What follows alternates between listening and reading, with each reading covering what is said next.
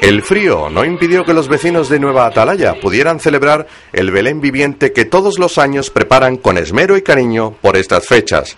En las escenas no faltó detalle alguno. Una perfecta recreación que comenzaba con el baile del séquito del rey Herodes y la entrada del general de la Legión Romana en una cuadriga tirada por cuatro caballos. Más de 90 personas entre figurantes y actores que recrearon la ciudad natal de Jesús, Belén. El vestuario, el portal, todo de elaboración artesanal por los propios socios, al igual que el guion que ha sido adaptado para la ocasión por Eduardo Pachón, director artístico, quien nos apuntaba los meses de trabajo que trae consigo llevar a escena este pasaje bíblico. Pues llevamos ya dos meses largos de ensayo, ¿eh? y de preparativo, y de buscar animales, y, de, y todo lo que hay hasta mismo aquí montado.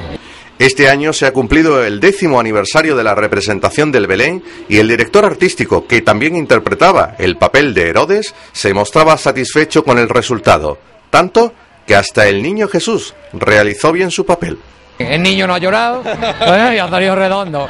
La burra, un poquito trabajo, ¿verdad? La burra está muy bien en el papel. Está muy bien, está muy bien. Ha cantado y todo villancico.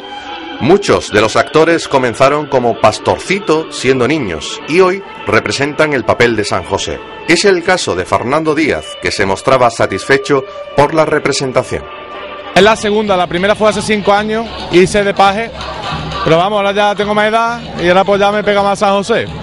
Los actores y figurantes confiesan que con los años este Belén se ha convertido en una familia y cuando finalizan se dan cuenta que el esfuerzo ha merecido la pena la verdad que ha estado, bueno, dentro de, lo que cabe bastante bien, ¿sabe? Es un esfuerzo, bueno, que lo realizamos todos los años y la verdad que queda, queda bastante, bastante bonito, lo he comprobado, ¿no? Que, es, es, algo familiar, es algo de la asociación, está bastante bien. Los vecinos de Nueva Atalaya contaron con la colaboración del Ayuntamiento de Estepona, Mario Floria, el profesor de teatro Luque y la Academia de Baile de Maribí Rodríguez.